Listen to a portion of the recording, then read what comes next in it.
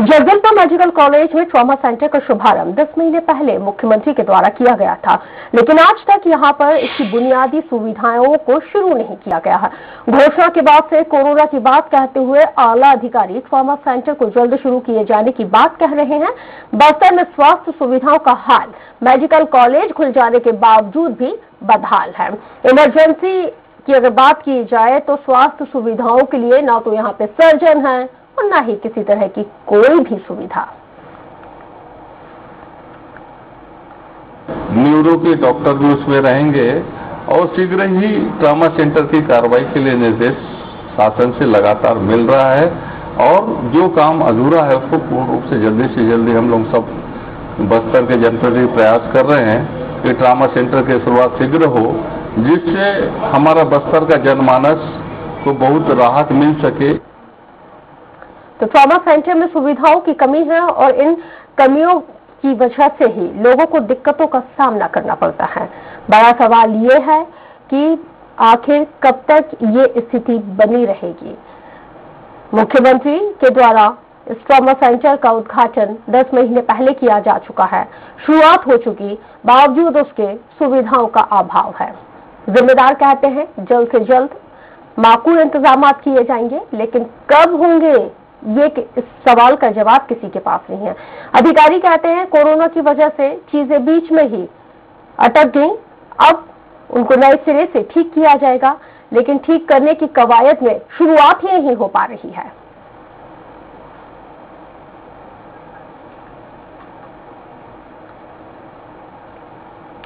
तो Jagdalpur medical college में trauma centre का शुभारंभ आज से ठीक 10 महीने पहले मुख्यमंत्री के द्वारा किया गया था।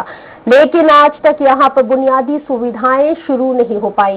घोषणा के बाद से कोरोना की बात कहते हुए अधिकारी ट्रामा सेंटर को जल्द शुरू किए जाने की बात कर रहे हैं। बस्तर में स्वास्थ्य सुविधाओं का हाल बेहाल है। मेडिकल कॉलेज खुलने के बाद भी स्थिति जस की तस है। इमरजेंसी फैसिलिटीज़ की बात की जाए तो यहाँ पे ना सर्जन है और ना ही किसी तरह की सुविधाएँ। चलिए जिम्मेदार क्या कुछ कहते हैं? एक बार फिर से सुन लेते हैं।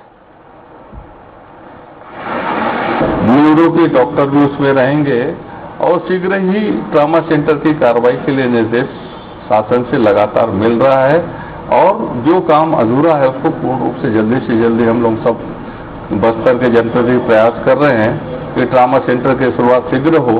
केएल आज़ाद हमारे साथ अस्पताल अधीक्षक हैं फ़ोन लाइन पर जुड़ गए हैं। केएल आज़ाद जी बहुत स्वागत है आपका। आज़ाद जी आवाज़ मिल रही है आपको मेरी? जी जी आ रही मैडम। जी केएल आज़ाद जी पूरी स्थिति पूरी कंडीशन से आप बाखूबी वाकिफ हैं। क्या वजह बताई जाती है कि ट्रॉमा सेंटर में चीज़ें और फैसिलिटीज़ अब तक शुरू नहीं की गई हैं? जी लगभग चालू हो गए हैं मैडम। फ़िल्म का बेड का हम लोग तैयार करके रख दिए हैं। हम्म। और न्यूरो सर्जन भी शासन के गाइडलाइन के हिसाब से हम लोग अपॉइंट करके रख दिए हैं। तो अगर आज़ाद साहब अगर तमाम आप लोगों ने सारी चीज़ों को इनिशिएट कर दिया है न्यूरो सर्जन भी आ गए हैं तो लोगों को फैसिलिटीज़ क्यों नहीं मिल रही? लोग क्यों परेशान हो रहे? हैं देखिए जगदलपुर मेडिकल कॉलेज का फ़ायदा तो क्षेत्र की जनता को मिलना चाहिए ना। जी जी। लेकिन वो नहीं हो पा रहा है। नहीं क्योंकि मैडम देखिए बिल्डिंग स्ट्रक्चर हम लोग का ऐसा है कि सेम टाइम में कोरोना पेशेंट्स का कोरोना का जो ग्राफ है कोरोना पेशेंट पॉजिटिविटी जो बढ़ा हम्म। तो उस वजह से क्या है जो एंट्री है जो बिल्डिंग में मैडम कोरोना पेशेंट्स का जो हमारा जो 20 बेड का ट्रामा सेंटर का जो सेटअप है वहीं से होके ही गुजरना पड़ता है ऊपर। हम्म, हम्म। तो वो टेक्निकली यह कहना चाहिए सेटअप के हिसाब से हमको थोड़ा सा नहीं कर कर पा रहे हैं। यदि हमको कोरोना मरीज़ के आने जाने का रास्ता अपन दूसरी जगह से अपन अभी बना लेते हैं पीडब्ल्यूडी से बात चल रही है अभी। कल ही सर दस महीने का जो टाइम पीरियड था I thought that it's more than sufficient हम दस महीने में ऐसा कोई कॉन्वर्सेशन कर सकते थे मीटिंग कर सकते थे और एक अलग से हाँ। ट्रायल हम लोग ट्रायल करके भी देखे हैं पीडब्ल्यूडी ने रैम्प भी बनाए हैं। हाँ। पर रैम्प से पेशेंट को ऊपर से नीचे लाना या नीचे से ऊपर ले जाना पेशेंट के साथ में टेक्निकली दिक्कत हो रहा है। इस वजह से अगर ट्रायल करके हम लोग डेमो करके देख चुके हैं मैडम? ठीक है। बट अगर सुविधाएँ शुरू हो जाती हैं वक्त पे तो तो इन सुविधाओं का भी एक औचित्य होता है मतलब निकलता है। आज़ाद साहब, आप भी इतना समझते हैं। और आपका जो पेशा है, वो इतना नायाब पेशा है कि आप यहाँ पे लोगों की जान बचाते हैं।